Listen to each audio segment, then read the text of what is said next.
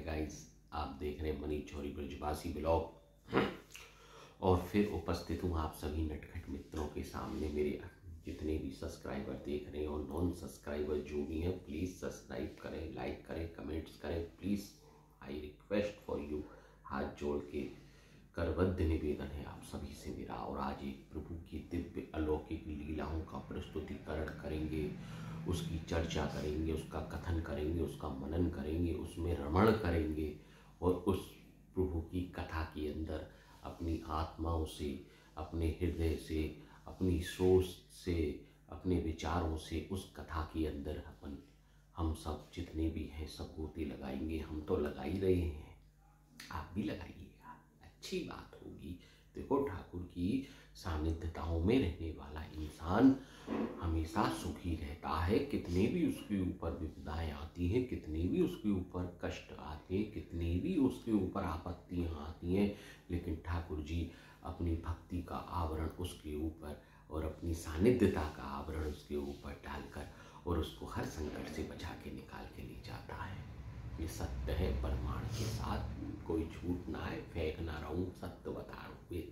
एक परसेंट सत्य है, हंड्रेड वन परसेंट।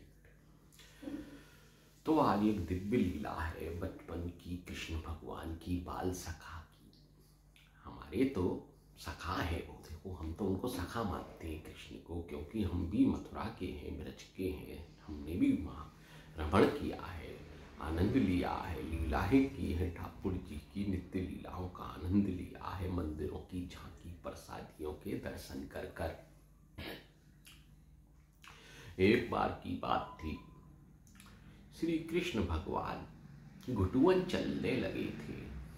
क्या चलते थे? घुटुवन। घुटुअन का मतलब होता है बच्चा चलता है छोटा सा। कदमों पे अपने घुटनों और हाथों के कोनियों के लगा के घुटुअन चलने लगे थे। तो उनका जो नंदरानी का जो महल था, जो निवास स्थान था, जहाँ वो रहते थे वो जमुना के किनारे पे उपस्थित था। किनारे का मतलब इतना दूर मान लो बीस, पच्चीस फुट दूरी से या तीस, पैंतीस फुट तक वन इतना। तो ठुमक, ठुमकते चलते हुए अपने नन्हे मंदे लड्डू गोपाल जी, श्री कृष्ण कान्हा नटवर नागर नंदा मनमोहक द्रव्य दृश्य आनंद अवलोकन के साथ प्रस्तुत हो रहा है। मेरे मस्तक के अंदर उसका प्रस्तुतिकरण कर रहा हूँ आपके समक्ष। तो भटुवन चलते चलते ठाकुर जी श्री कृष्ण भगवान यमुना के किनारे रज पड़ी रहती है। रज माने जमुना जी की जो रेतिया होती है, माँ रेत के वाय रेतिया पड़ी हुई ठाकुर जी ले रहे हैं, मुट्ठी में ले रहे हैं भक्त मुँह में ले जा रहे हैं बार बार एक बार, दो। तो अचानक से उनकी माता जी वहाँ प्रकट हो गई। ओ हो हो हो हो हो बच्चा माटी खा सकता है क्या? कोई खाएगा तो रोकेगी माँ डांटेगी। ये मत करना, गलत बात है। तो साहब नटवर नागर नंदा लीलाओं का प्रस्तुतिकरण कर रहे हैं अपनी दिव्य, वो भी अलौकिक लीला है, बालपन की बात थी। श्री ठाकुर जी ने माँ ने उनको पकड़ा, हाथ में लिया, बालक को मुँह से सारी मट्टी पहुँची क्यों भाई? लटकट तुम माटी क्यों खा रहे हो? मुँह खोलो मुँह खोलो मुँह खोलो माँ बार बार के और उंगली डाल के माँ ने मुँह को यूँ करा मुँह खोल दिया बच्चे का अपन खोल देते हैं ना कोई चीज़ मुँह में होती है चेक करने के लिए देखने के लिए उसमें तो मुँह खोल लिया माँ ने नंदरानी जी ने ओ हो हो हो एक अद्भुत दृश्य आनंददायक दृश्य प्रस्तुत हो रहा है नंदरानी के समक्ष, पूरा का पूरा ब्रह्मांड, पूरी की पूरी सृष्टि, पूरी की पूरी गाय, जहाँ जहाँ उपस्थित है नंदरानी भी उनके मुख के अंदर उसी पोजीशन में, उसी अवस्था में नज़र आ रही हैं, जिस अवस्था में नंदरानी जी देख रही है उनके मुख को। देखो, जैसे अपन टीवी पे चित्रण देखते हैं एक चीज़ का। माँ सुध बुध भूल गई। कृष्ण भगवान मन में सोचते हैं, माँ ने देख लिया, सब कुछ पूरी सृष्टि देख ली, इनको भुलाना पड़ेगा। माँ तो अवस्थाई, माँ तो किसी व्यक्ति को अचानक से कुछ ऐसी चीज़ नज़र आ जाती है जो कि आश्चर्यचकित हो तो वो चौंकेगा ही चौंकेगा। इसमें कोई वैसी बात नहीं है, दिक्कत की। सब चौंक जाएँगे। ये समझदार होंगे वो। तो साहब माता जी की जो उस उस समय जो स्थिति थी, माँ कृष्ण भगवान मन में सोच रहे हैं अरे, इसने मेरे ब्रह्म रूप को दर्शन कर लियो है। कृष्ण भगवान मन में मनन कर रहे हैं। इसने हम, इन इन माँ ने हमारे ब्रह्म रूप को दृश्याटन कर लियो है, देख लियो है।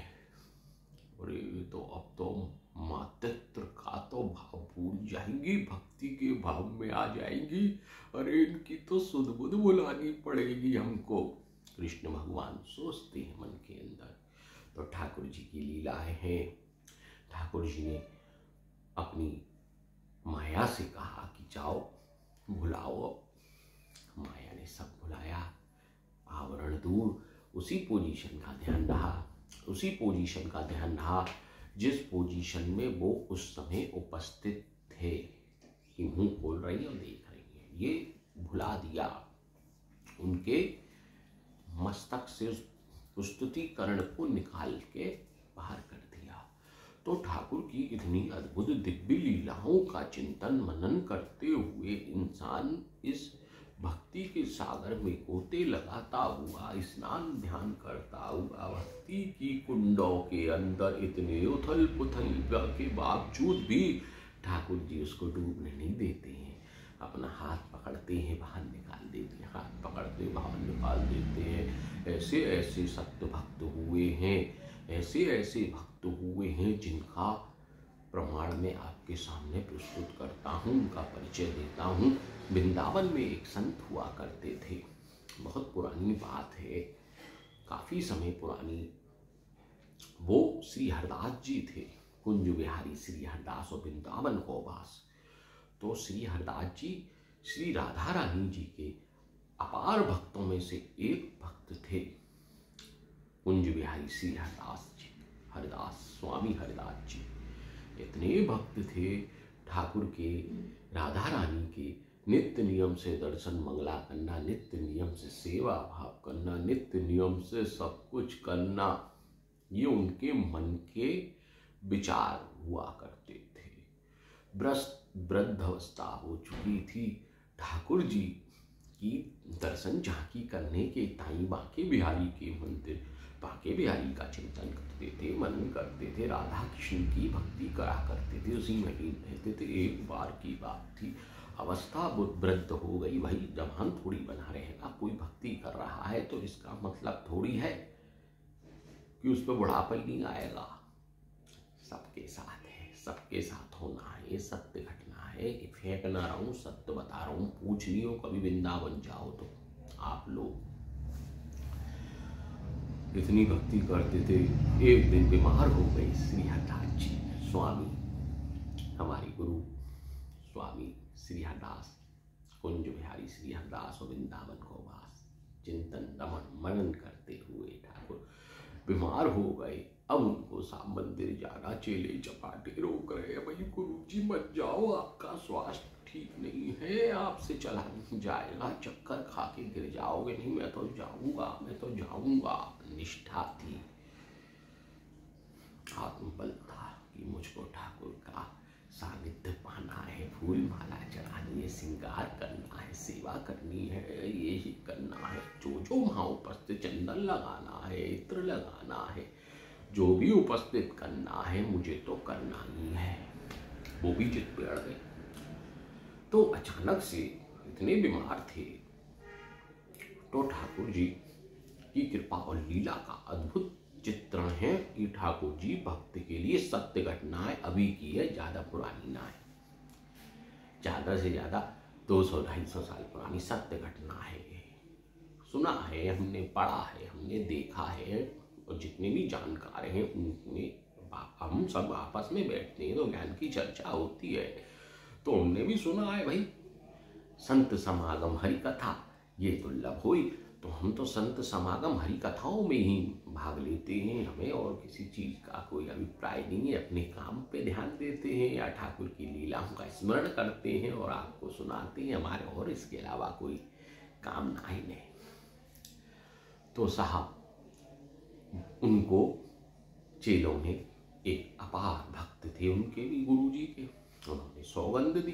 गुरु जी आपको मेरी सौगंध है, आपकी तबीयत अवस्था ऐसी नहीं है, पहुँच सको आप मंदिर में। हम नहीं जाने देंगे आप राजा गुरु जी बैठ गए लीला होगा प्रस्तुतिकरण हो रहा है। अपने आसन पे बैठ गए गुरु जी और क्या करें? हरे कृष्ण हरे कृष्ण कृष्ण कृष्ण, हरे हरे हरे राम हरे राम राम राम, हरे हरे की माला जप रहे हैं ठाकुर की। और मन में कह रहे, हे स्वामी, हे ठाकुर, आज की मेरी पूजा पूर्ण नहीं हो पाएगी। आपकी, मेरा स्वास्थ्य इतना नहीं है कि मैं चल के आपके मंदिर तक पहुँच सकूँ। श्री हरदास जी कहते हैं, अपने मन में ओ हो हो हो हो हो हो, मैं सत्य बता रहा हूँ, जो आज से ये जो बांके बिहारी जी का जो मंदिर है, ये बाद में बना है।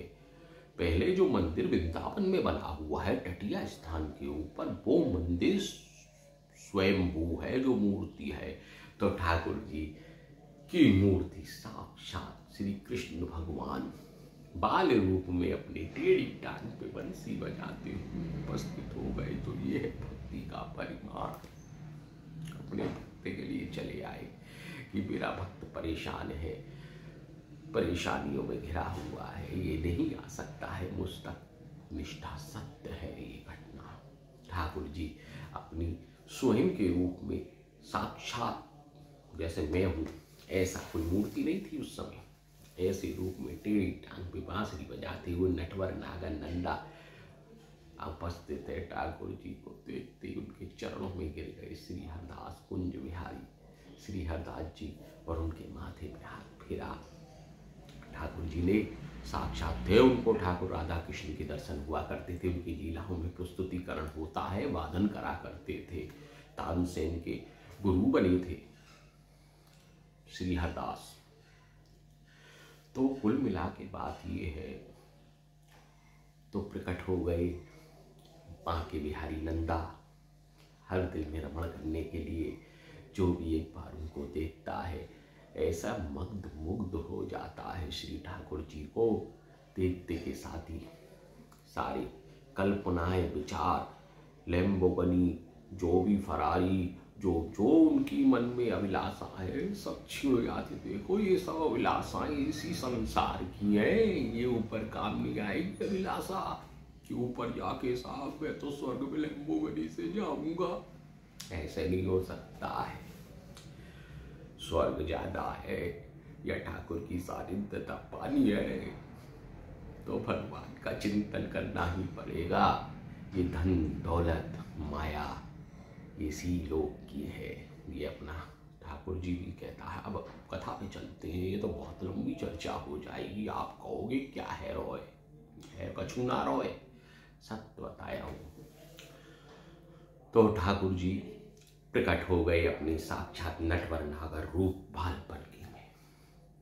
उनके चरणों में गिरे, फूल माला चढ़ाई और ठाकुर जी ने कहा कि आज से मेरा एक विग्रह एक विग्रह माने कि मेरा एक प्रस्तुतिकरण, मेरी एक मूर्ति आपके समीप इसी मंदिर में रहेगी। आपको कहीं जाने की आवश्यकता नहीं है। जब तक आप इस लोक में हो करो नित्य नियम से सेवा। देखो, कैसे हैं भक्त के भग में भक्त के बस में है भगवान। तो ये साक्षात है। प्रकट हो गए नटवर नागन, नंदा, लीलाधारी, चंदा, श्री कृष्ण भगवान टांग वाले नागर। प्रस्तुतिकरण हो गया, उनका मंदिर बना। आज भी वो मंदिर टटिया स्थान के ऊपर, वृंदावन में बना हुआ है। नित्य नियम से आज भी उस मंदिर के अंदर इलेक्ट्रिक आइटम की कोई प्रस्तुतिकरण आपको समक्ष उपस्थित भी नहीं होगा। जो दिव्य ज्योत जलती है, श्री हरदास जी के समय से चली आ रही है। लाइट नहीं है, पंखा नहीं है। ठाकुर जी की पंखे की झरनी, हाथ वाला रस्सी से चलाने वाला जो पंखा आता है कपड़े का, उससे झपकना चलता है। दीपक में घी डालकर ही उजाला प्रकाश होता है वहाँ और एक और अद्भुत लीला है वहाँ पर।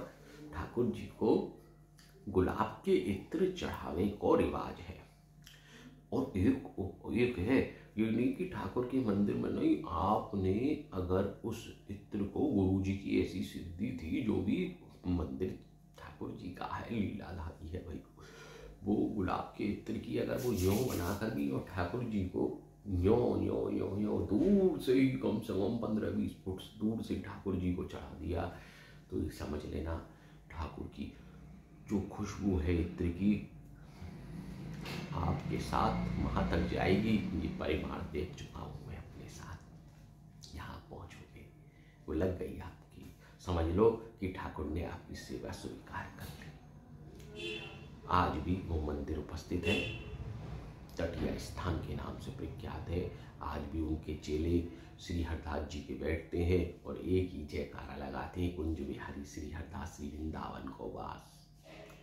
तो ये सत्य घटना है। कोई इसमें कोई जुड़ाव या कोई अपने मन गढ़ंत कहानी नहीं है। अगर ऐसा लगता है तो आप भी कभी वृंदावन जाएँ तो रमंडी के दर्शन करना। जो मैं बोल रहा हूँ, वही प्रस्तुतिकरण होगा आपके समक्ष। बहुत चेले हैं, उनके भी बहुत चेले हैं। उच्च कोटि के संत थे। एक बार तानसेन ने अकबर से कहा, सत्य घटना बता रहा हूँ ये भी। तानसेन ने अकबर से बोला कि, भाई, ऐसे ऐसे एक संत हैं, बहुत बढ़िया ही बाधन करते हैं, बजाते हैं। तो अकबर की लालसा बढ़ गई। बोले, लाओ उनको, हमारे दरबार में हम उनको रख लेंगे। भाई नवरत्नों में से एक रतन तानसेन भी थे। देखो नौ कह रहा है, आठवां रतन मान लो या पहला रतन मान लो या नौवा रतन मान लो, वो बोल रहा है। तो राजा तो ज्ञान देगा ही देगा, यार, इतना बड़ा ज्ञानी भी कह रहा है कि उनसे भी ऊपर के बैठे हुए हैं, वृंदावन में रहते हैं, श्री हरदास जी नाम है। अकबर ने कहा, जाओ। संदेशा लगा कर आ जाओ, श्री हरदास जी के पास अकबर ने दिल्ली बुलाया। श्री हरदास जी के पास से जा रहे हैं। तानसेन भी गुरु जी चलिएगा। राजा साहब ने बुलाया है। जलालुद्दीन अकबर मोहम्मद ने बुलाया है। यो बोले, कह देना तुम्हारे राजा से, मेरा तो एक ही राजा है बैठा हुआ है सामने। हम किसी के सामने नहीं बजाते हैं, हम तो ठाकुर जी के सामने बजाते हैं साहब। होंगे राजा आपके लिए। हमारे लिए कोई राजा नहीं है। हमारा तो राजा ये है, जो राजाओं का राजा है। परम पिता परमेश्वर श्री कृष्ण राधा स्वयं। राधा जी की सखी थे श्री हरदास जी भी। श्री हरदास जी भी उच्च कोटि के संत थे।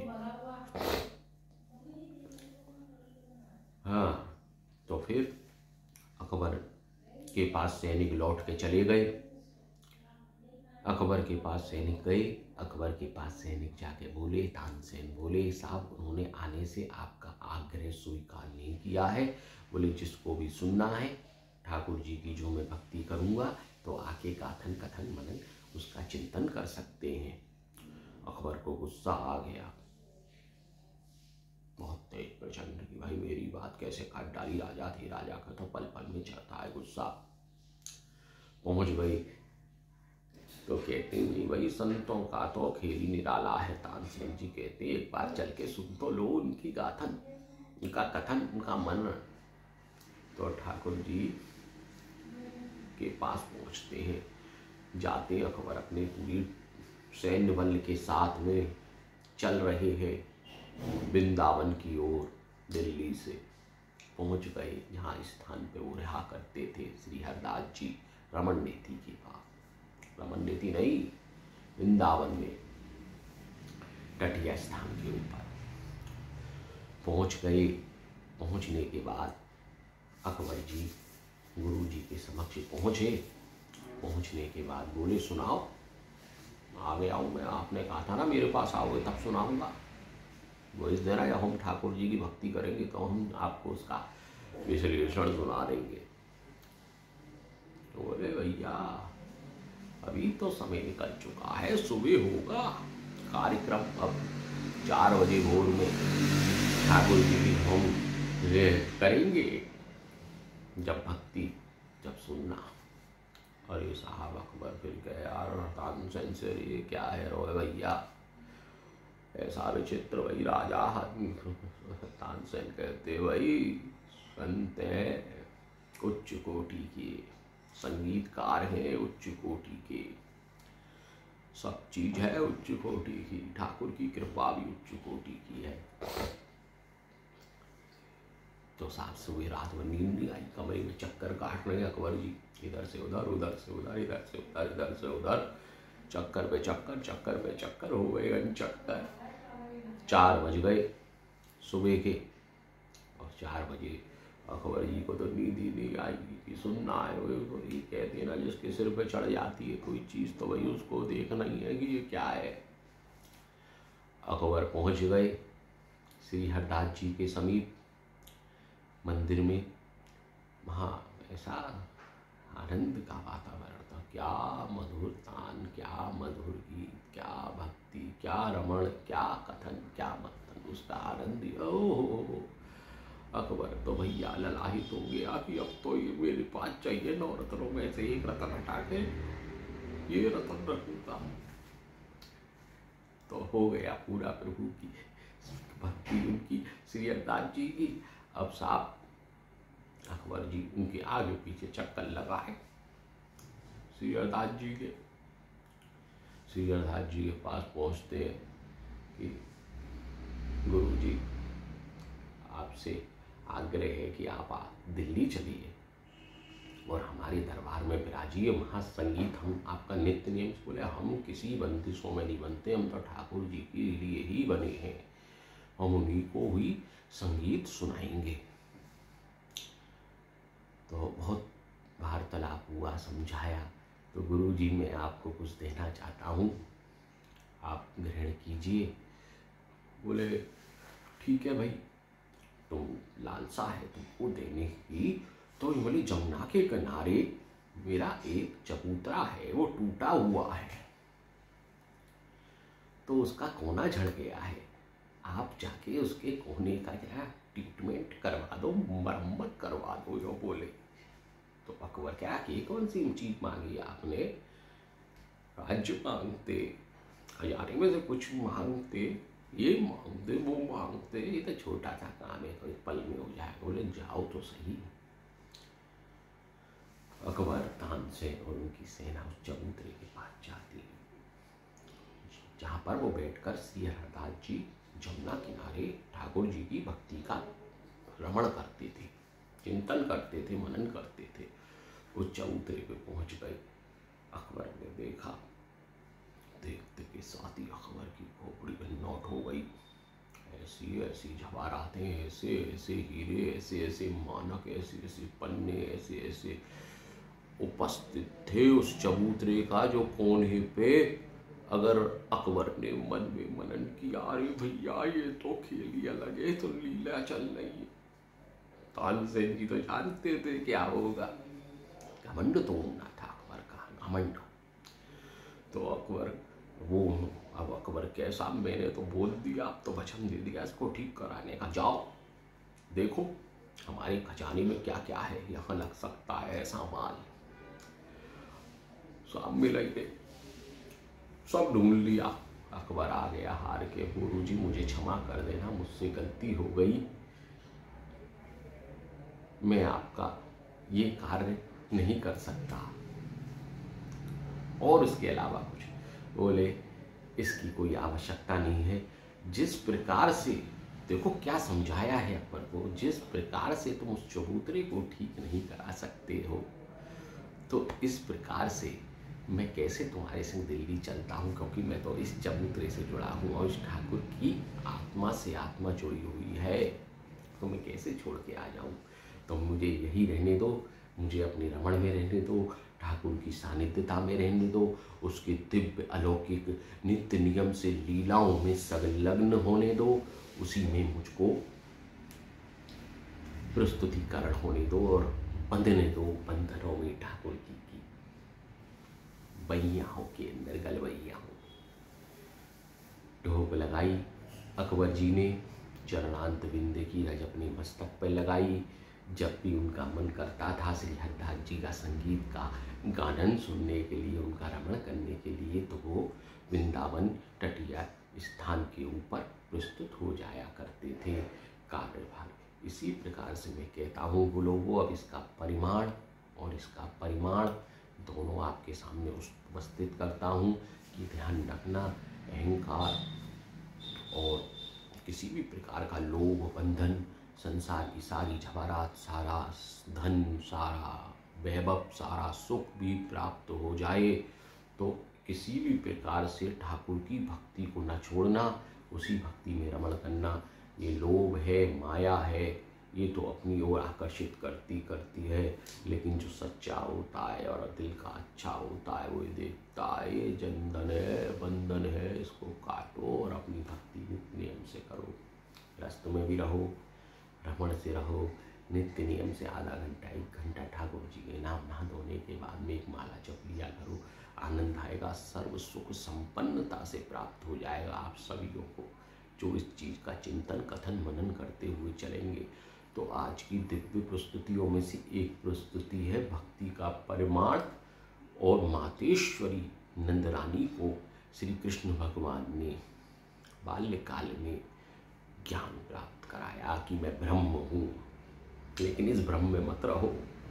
ये अद्भुत लीला ठाकुर की, वो कहते हैं, मैं ब्रह्म हूँ, लेकिन इस ब्रह्म में मत रहना।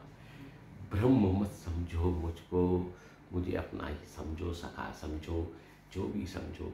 ठाकुर जी को एक चीज़ बताता हूँ। ठाकुर जी को कभी भगवान समझ के मत भजना। मिलेंगे नहीं। मित्र बना लेना।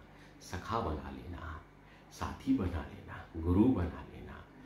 तो इस चिंतन का मनन करते हुए चलोगे ना तो ठाकुर मिल जाएगा, भगवान समझ के पूजोगे जो जीवन लग जाएगा, उनकी परिचयता का, उसका परिमाण उसका परिमाण और उसका परिचय उपस्थित नहीं हो पाएगा। आपके समक्ष किसी ना किसी माध्यम से उनको गुरु बनाओ, शिष्य बनाओ, शिष्य नहीं, शिष्य तो खुद बनो।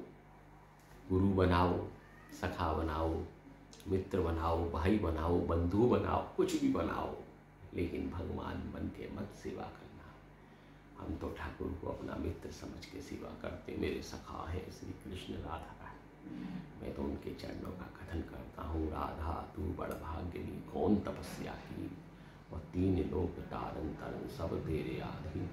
अब भी मैं आँख बंद करके दर्शन कर रहा हूँ। श्री कृष्ण भगवान राधा के साक्षात्कार के दर्शन मेरी आँखों के सामने प्रस्तुत हो रहे हैं। जिसका अवलोकन नहीं कर सकता आपके समक्ष, ये आप उस भक्ति को जब पाओगे, ठाकुर की कृपा, आपके आशीष, उनका हाथ का आशीर्वाद आपके समक्ष होगा तो सब चीज़ आपको घर बैठे बैठे प्राप्त हो जाएगी। ये तुच्छ है। ये तो यहाँ तक सीमित है। और ये अपार है।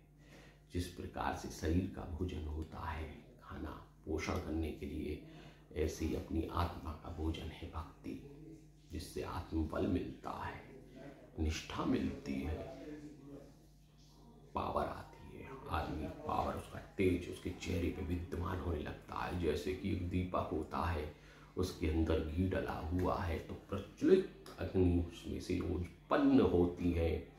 और जैसे ही वो दीपक में से घी चला जाता है तो धीरे धीरे डिम हो जाती है। तो ये भक्ति और प्रभु की सानिध्यता ये आत्मा का ज्ञान है, आत्मा का भोजन है, जिससे कि आदमी में ऊर्जा, तेज का प्रभावित होता, बोलने की जो शैली होती है, जो दिव्यता होती है, जो अलौकिकता होती है, जो प्रस्तुतिकरण होता है, जो आदमी को किसी भी आदमी को अपनी बातों से आकर्षित करने वाला होता है, खींचने वाला होता है, वो सब आत्मा से ही प्राप्त होता है। जो हम बोल रहे हैं, वो भी ठाकुर की सानिध्यता है, वो उनकी कृपा है, उनकी दिव्यता है, उनकी अलौकिकता है, उनका परिमाण है ये। तो आज मेरे दोस्तों, आज थोड़ा ज़्यादा सा हो गया, क्या करूँ? मेरे पास जो होगा, मैं वही तो दूँगा आपके पास, आपको जो मेरे पास उपस्थित होगा। मेरे पास तो प्रभु का गाथन है और कथन है और चिंतन है, मरण है, मनन है और रमण है। मैं तो यही दे सकता हूँ इसके सिवा मेरे पास कुछ नहीं है आपको देने के लिए। मेरे दोस्तों, मैं तो खुद ललाहित रहता हूँ। लोगों से हाथ पसार के मुझे भक्ति का मार्ग प्रदर्शन करो मेरे मेरे पास तो जो है सो यही है। प्रभु का सहारा है। इसके सिवा कुछ नहीं मेरे पास ठाकुर का हाथ मेरे सिर पर हो और आपका आशीर्वाद हो, आपकी कृपा हो मेरे दोस्तों। आपका भाई हूँ, आपका सखा हूँ, आपका सब कुछ हूँ, जो भी समझते हो मेरे पास से इस समय जो उपस्थित है मैं वो ही दे सकता हूँ। प्रभु का ध्यान करो, पूजा करो, रमण करो, मनन करो, उसी के आनंद लो। प्रभु की भक्ति में गोते लगाओ मैं क्या बोलूँगा, मैं क्या दूँगा किसी को? मैं कुछ जिज्ञासु हूँ। मैं किसी को कुछ नहीं दे सकता। जब तक था, प्रभु का आशीर्वाद है मेरे पास तो बस यही चाहिए। सब आनंद से रहे, रमण से रहे, मनन से रहे। मेरी तो यही भावना होगी। और प्रभु की सानिध्यताओं में रहे। मैं तो प्रभु आप सभी से और आपका कथन मेरा अच्छा लगा हो तो आप ही का सखा हूँ, आपका भाई हूँ। सर्वे।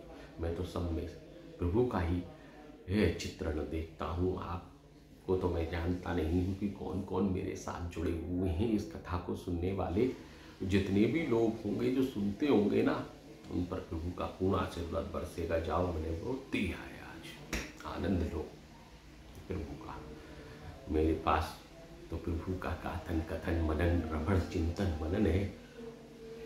मैं क्या बोलूँ? किसी से मैं बोल भी नहीं सकता हूँ मैं। चलो जय सिया राम मुझे राजा राम अच्छा लगा हो तो लाइक करें कमेंट्स करें शेयर करें। बच्चा हूँ, अपना आशीर्वाद बना के रखी हूँ मेरे ऊपर। जय सिया राम।